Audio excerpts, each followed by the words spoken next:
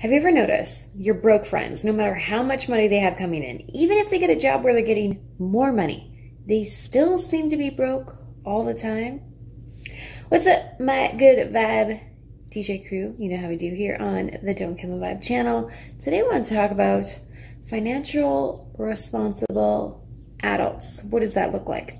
Now, when I think about somebody that is financially responsible, I'm thinking about somebody that's paying off their bills, they're saving money maybe for a vacation, maybe for a rainy day fund, somebody that is frugal with their money. So instead of buying a cup of coffee every day, they are making coffee at home. When I say this, I'm saying this as a person that has also done these things. So I'm not judging, I've been there. So when I think about people that maybe aren't so good with money, some of the things that I'm initially thinking is that one, they probably have credit cards and loans, just tons of different bills that they're trying to pay off that they're struggling to pay off because they can only really make the minimal payments, which just increases their bills every month. One of the other things that I know is that when people that are usually broke finally have money, they spend it on dumb ish. Like ridiculous. Like they don't need it, but they finally have the money, so they're like, okay, we're gonna go to the most expensive restaurant tonight. and then the last but not least thing, probably the thing we are most guilty of doing, is we buy stuff.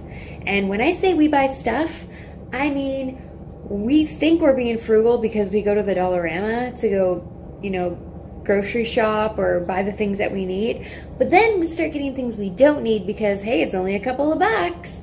And then before you know it, you go in there for one thing and you come out with 20 things and you've kind of blacked out. You don't even remember all the things that you bought or why you wanted to buy them in the first place. So, one of the things that I highly suggest that you consider doing if you are somebody that seems to be going from paycheck to paycheck and not really ever being able to save any money is to consider consolidating all of your bills. So, this might be a consolidation loan with your bank, this might be a line of credit. Sit down with somebody at your bank and don't get another credit card, don't get another loan um, unless you know maybe it's a line of credit it's got a really low interest rate and then you take all the bills that you owe and you put it all onto this one freaking bill payment that you're going to make every month. Because then you can not only catch up on those bills but you're not racking up insane interest on things that you are just never going to pay off. I know for me i literally had to go to another bank at one point because the bank I was with, the interest was ridiculous. And and sometimes you'll find this. Sometimes you'll find you're at a bank that's like, we can't do anything for you. And then you go to another bank, and that bank's like, we'll take your money. We will totally help you out.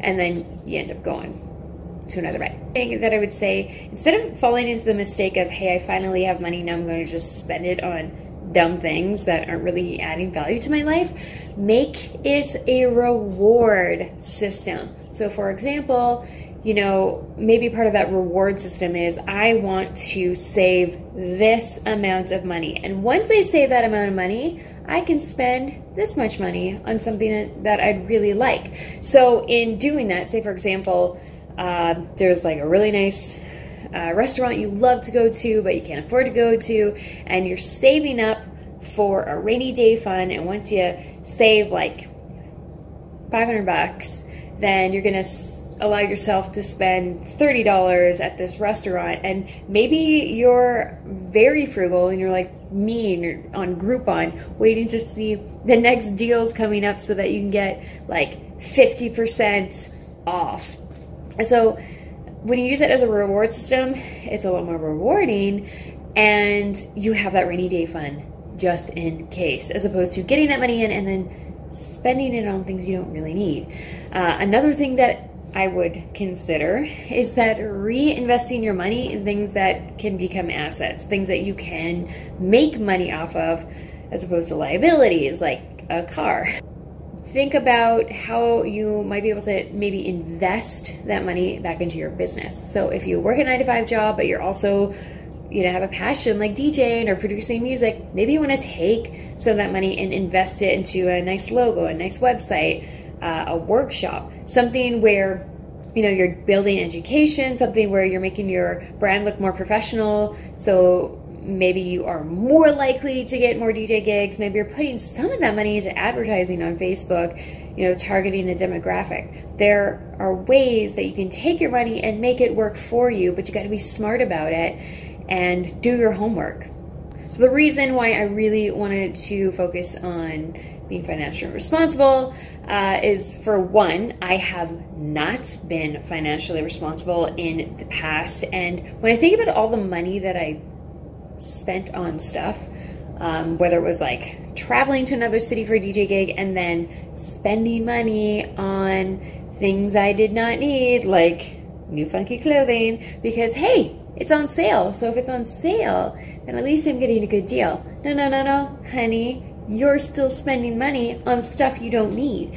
So if you're to buy stuff that you don't need and it's to be a reward, make sure you're first saving some rainy day money or vacay money or just being more financially responsible because there are going to be times in our life like it is right now in our life in our family life where there's not a lot of work going on. So you need those rainy day funds.